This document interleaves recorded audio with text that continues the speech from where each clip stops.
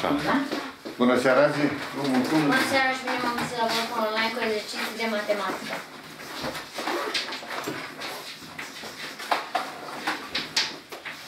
Asta, aha. Uh, Șase. Foarte bine. Zi pe ce tu dai. Uh, Asta, asta, da. 2 n plus 2 4. n plus 4 cu, plus, cu virgulă, Deci 2 în plus 4. deci în paranteze, este mai mare divizor comun. Da? Al lui 2 n Și plus 4 2 și al n lui plus 3, 2 2 n în plus 1. se arată că este 1. Da? Cel mai mare zor comun al lor este egal cu 1. 1. Uh, Că m-ați dat cat. Da? Așa. Deci arătăm că cel mai mare zor este 1.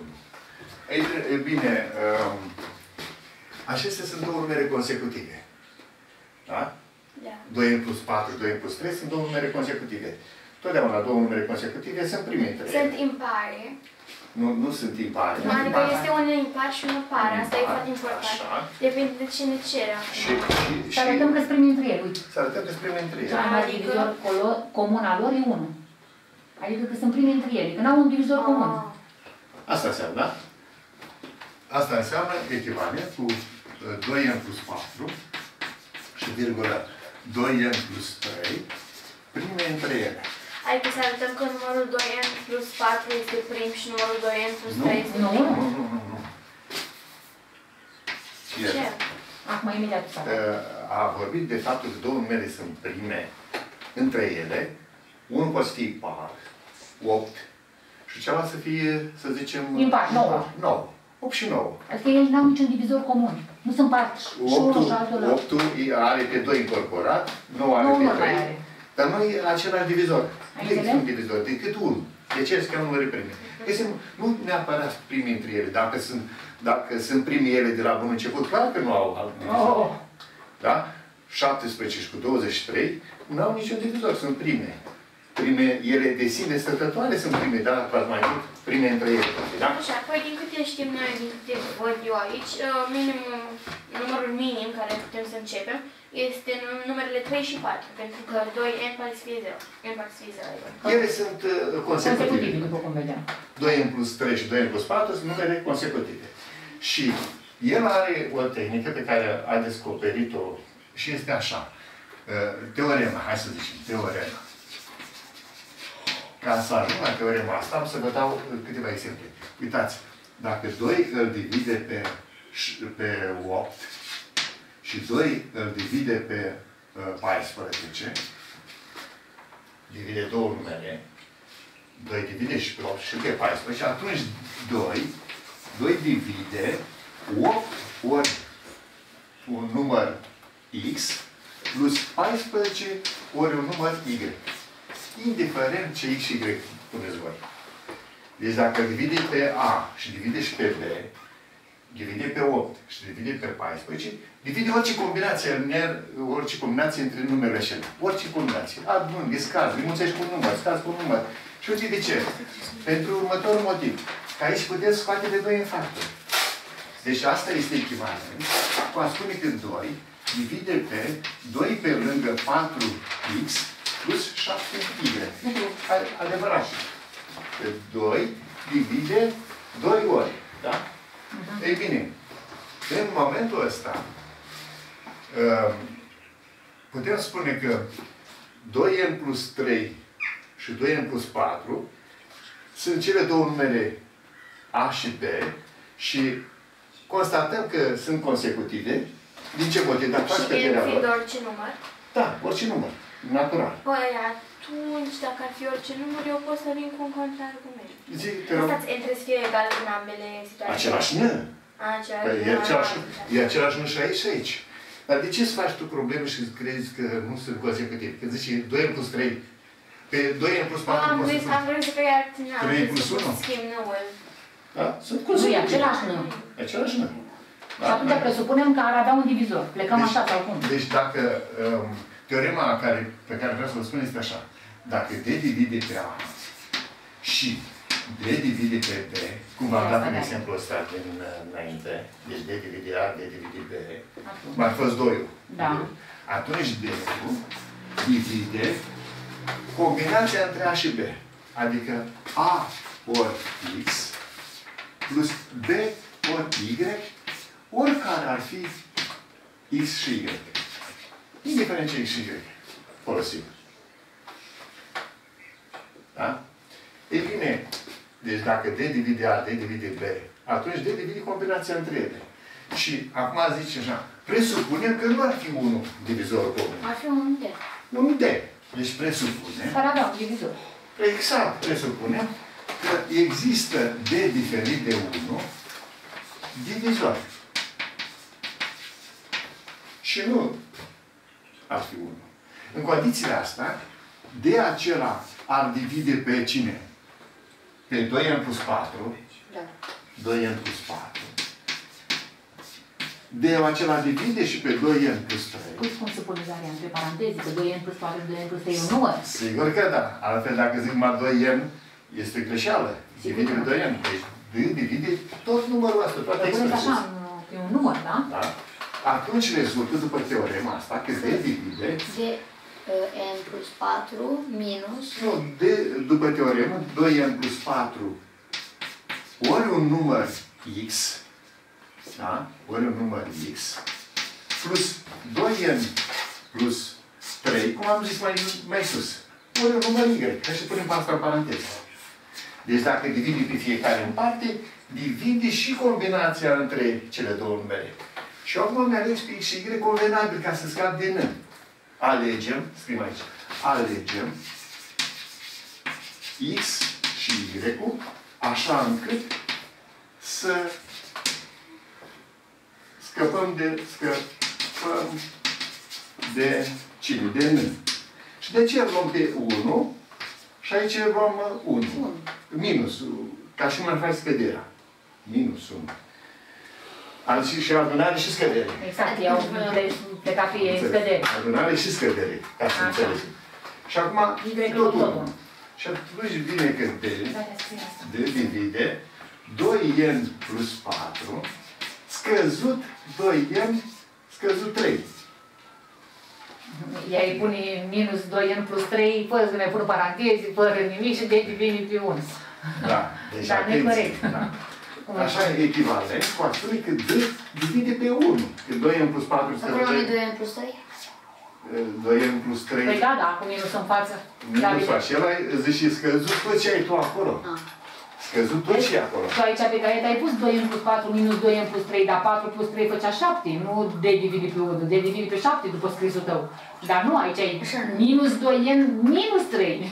Când minusul din fața Dar parantezei. tocmai acum ai punctat. Și acum ți-am spus, scăzut tot ce e acolo. Ai înțeles? Că altfel nu dă 1. Cum ajungi la 1? Uite, 4 minus 3 dă 1. Și rezultă de divide pe 1. Și dacă te divide pe 1, înseamnă că tu e egal cu 1. Uite, toată demonstrația asta care o să scrii, Daria. Așa trebuie să o Da. demonstrație. Deci este o, o, o tehnică pe care trebuie să o reținem ca teoremă. Eu v-am dat exemplu. Dacă 2 divide pe 8, divide și pe 14, 2 divide, indiferent ce spui tu, cu ce x și y mulțești acolo. Și asta e rezolvarea la tema ta. Corectă. Da. Ai înțeles? Bun. El mai are un exercițiu, 21 de la 46. 21 de la 46. A. Determinați numerele prime între ele, A și B. Determinați A și B. Prime Prime între între ele. ele. Puneți Adică A, B rezultate. egal cu 1. N-au alt divizor decât pe 1. Care verifică relația 3A plus 4B Așa încât 3A plus plus 4B 4B să dea 39. egal cu 39. Deci să găsim două numere A și B, prime între ele, așa încât 3A plus 4B să facă 39.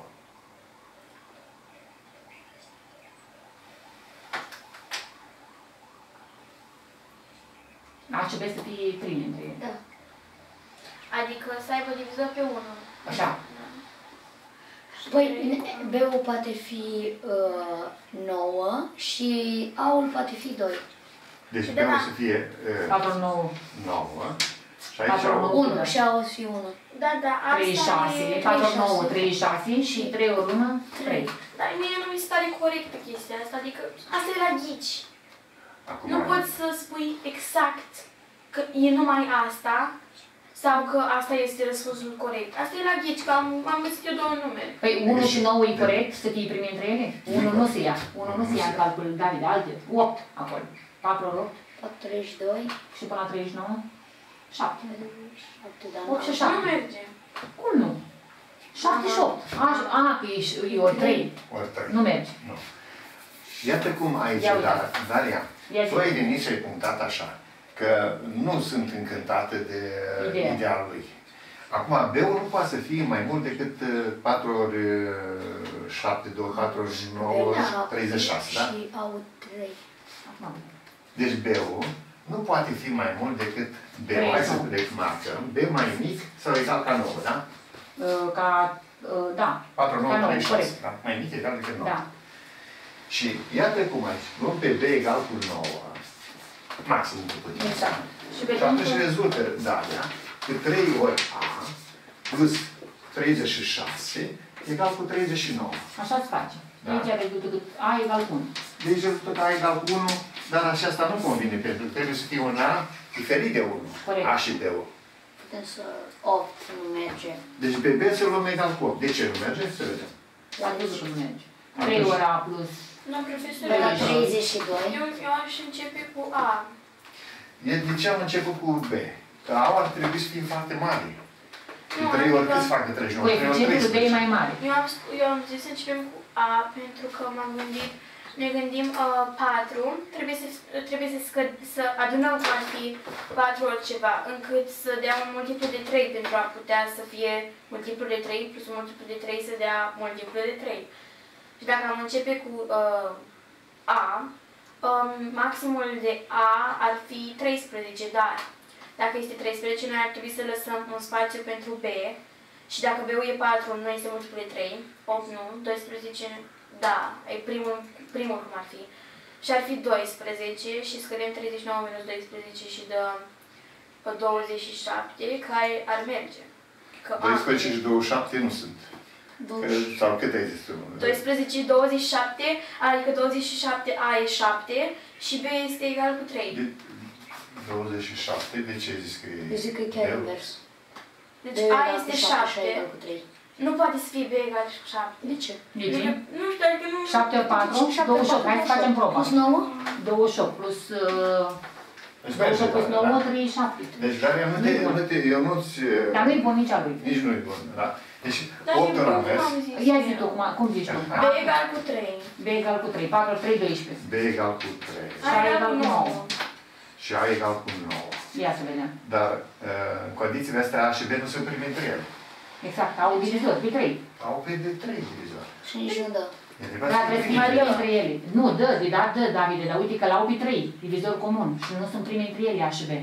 Trebuie să respectăm asta, Dalia. Păi da, și acum dacă... De, acesta nu asta e prima variantă. cum ar Bun, Bun. bun, mergi Și pe coborăm cu 4 mai mult. Dacă e 4 mai mult, e 16 și nu e bun. Apoi 20, 24, care e bun 24. Pentru 24 este multiplu de 3, nu? Da. Da, 8. Deci e 8 și putem să spunem că B este egal cu 8. Da. B egal cu 8. Și A este egal cu... Nu merge. B egal cu 8, poate A egal cu 8. Nu, nu știu, eu nu înțeleg raționamentul ei. Eu, păi și eu mă strădui acum și tu ai, uh, uh, vrei să mergi în linia ta, eu vreau să te să descoper ce spui. Eu, noi ne formasem în raționamentul acesta, că le iau pe maxim cu putință și numai 9, datorită Opt. faptului că am aici coeficientul 4 pe mai mare de 3, Da. 8, 9 în maxim. Am încercat, n-am mers, acum mergem la 8. B egal cu 8, hai să Hai departe să- să, o- corect. ne oprim aici, raționamentul ăsta și până mă întorc și la ideea ta, să Corect. vedem cum gândim. Știi, de regulă când ne fragmentăm uh, ideile, nu ducem nici pe una, nici pe cealaltă la O cap. ducem pe asta și pe aceea o ascultăm și Deci, pe asta. B egal cu 8, Da. uh, Păi, face cât Nu atunci? merge, mă. B egal cu 3A, 8, da. da. Rezultă că Bine, 3A 3A plus 32 32, egal 39. 39. 3A egal cu 7 nu-i bun. Nu dă. Deci B 8 nu merge. na. Deci Sau nu merge. merge. Păi A egal cu 7 pe 3, cum să fie A 7 pe 3? Că trebuie să fie natural. B-ul 8 și A-ul 5. În, uite, eu am făcut cu B-ul B-ul egal cu 8 și A-ul Și egal Dar cu nu, 5. fără să te asta. Și Uite, n-am hai să mers. verificăm. Hai să 3 vedem. ori 5, 15, 15 plus plus 3. 4 ori 8, 32. 32. 15 4 ori 8, nu e 32. Dar cât e mai în 4 ori 8? 32. Vezi că înainte? 4 ori 8 e 32, Daria. 8 plus 8 plus 8 plus 8. Atenție, când te arunci într-o chestie din asta, gândește-o bine. 4 ori 8 e 32 și ai sărit deja peste număr. E 47 Sigur, da. acolo, nu-i, nu-i 39. Deci Atenție. nu, nu, nu are cum să Bun. asta. Deci nu Hai să- merge. B egal cu 7. 7. Rezultă, Și vorbește Davide. De unde rezultă că 3A plus 28 egal cu 39. 28 egal cu 29. 39. Rezultă că 39. 3A egal cu 11. 11. E Nu imposibil. e bun. B egal cu 11 nu, nu e bun. Apoi, Vedem B, acum. B egal cu, cu 6. Pe egal cu 6. Așa, și uh, urmează 3A 3A plus 24 egal cu 39, de unde rezultă că 3A Nu sta pe este egal cu 15. 15. Ăsta e un proiect bun, vedem acum. A egal cu 1 5. și 9 nu merge. Păi nu merge niciodată. Uite acum, ăsta merge. Uite, a B-ul egal cu 6, Cinci. A egal cu 5. Merge. Ele sunt prime între ele. Și uite așa, de ce sunt prime între ele? Era de așteptat. Sunt două numere consecutive. Sigur că da. Două numere consecutive întotdeauna sunt prime între ele. A- Ați înțeles? Da. Un număr 4 un număr impar. Întotdeauna sunt prime între ele. Noi trebuia să găsim o pereche de numere A și B, prime între ele, care să verifice relația asta. Corect. Și am, am găsit perechea asta. Corect. Și ca să epuizăm, tu spui așa, ar fi bine să continui pe B egal cu 5, să vedem dacă găsim Trei. A, B egal cu uh, 4, cu 3, până când constatăm că nu mai există o altă pereche. Da? Da. Dar eu. Acum să mă întorc și pe ideea ta. Dar B Cred că egal cu 5 și B A egal- egal cu 6. Hai să vedem. Da? Ia să vedem. Nu cred. Dar nu schimbarea. N-are nu. cum. Nu, nu faci așa. Ci ai luat B egal cu 5, ce spuneam ca ordine, că ai mers 9, Nouă, 8, opt, 7, 6, 6, 5. 5. B egal cu 5 și înlocuiești pe B egal cu 5 în uh, relații. Da, știu. Deci 3A 3A plus 20 egal cu 39. Ai înțeles cum Da, se face? 39. Da, cum se Și face? 3A egal cu 19. 3A Mm. egal cu 19. Și nu Asta e uităm. singura pereche. Sigur. da. Probabil că e singura pereche. Dar acum aș mai insista și pe ideea lui Daria, Da. pentru că uh, eu rămân o respectez pentru fiecare idee. Nu, nu, nu te repet, n-am voie să fac asta. Și tu n-ai găsit, vezi? Tu ai zis că nu este. Da. Ba este. Iată, iată aș spune așa, Daria. Hai să mergem, relația era așa, 3 ori A plus 4B egal cu 39, da? Atunci scoatem 4B, deci de aici 4B este egal cu 39, scăzut 3A. nu e așa că scădem în 3A în ambimele. Adică 4B egal cu 3 pe lângă 13 minus A. Știi? Pe lângă 13 minus A. Ei, ca să apară multiplul de 4, ca să apară multiplul de 4, trebuie să, și, să- egalitatea asta să fie adevărată, B-ul trebuie să fie 3. Sau multiplul de 3. B-ul să fie fie 3, fie să fie uh, 6. Deci 4 ori ceva, să facă 3 ori ceva. Uh, sesizăm că de aici aș încerca B egal cu 3, și atunci ar însemna că 4 egal cu 13 minus A.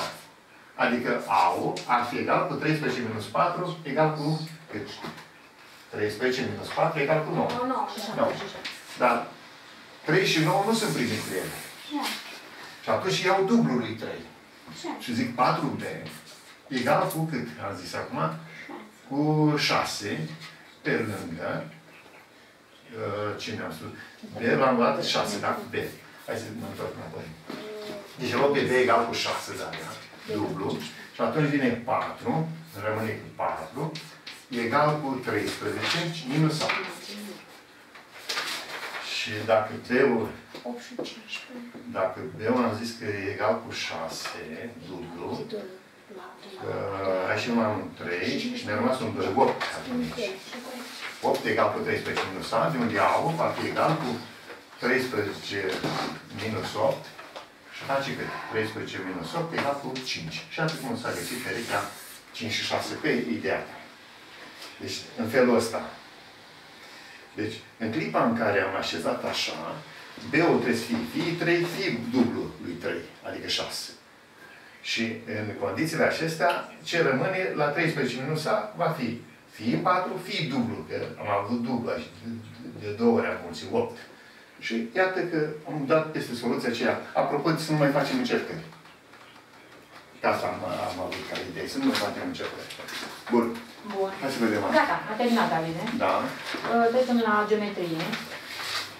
Eu aș propune acum să închidem fișierul ăsta, Da. algebre. Închidem asta, da? Da, da, da, fișierul ăsta. La revedere!